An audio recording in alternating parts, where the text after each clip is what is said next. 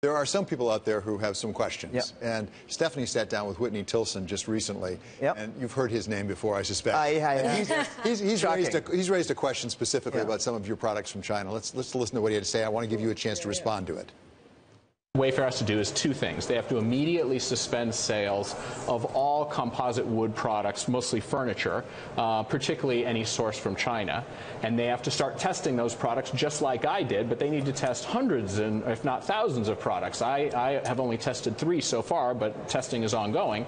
Um, but then secondly, they need to hire a chief compliance officer and need to uh, establish a rigorous and yes, expensive testing uh, and compliance program, just like a Home Depot or Lowe's does.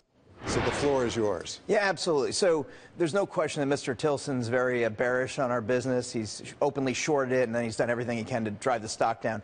The way I look at it is if you look at Mr. Tilson's shorts at Google, Netflix, Tesla, these tend to be companies that are disruptive, doing things in a non-traditional way, and the comparisons to the traditional model don't always uphold uh, sort of where, where they sit. So we have a huge commitment to customer safety, product safety. We've, we've done a great job with that, and we obviously continue doing that. But I think Mr. Tilson's really trying to trying to find anything he can hang his coat on. Could we address the two specific points you that he sell raised, though? coat- coat racks, the, the so- one we do sell coat racks, absolutely. that you should test your products independently, and the second that you should have a chief compliance officer.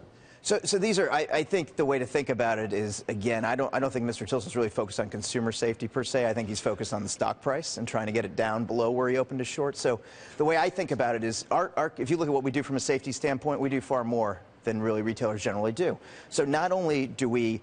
You know, we work with 7,000 suppliers who, in turn, are the experts at sourcing products. They're, they're the ones who are actually the big suppliers to Walmart and Home Depot and Lowe's and Target and Macy's and all of these folks. So working with them, we're not directly sourcing out of the Chinese factories, where then you run a much higher risk, which is what a lot of other retailers do to cut their first cost. We actually work with these folks who are actually the U.S. supplier. So I think we're in a very good position. We have to let you get back to work. You got you have orders to respond to. Niraj Shah, he's the chief executive officer and co-chairman of Wayfair.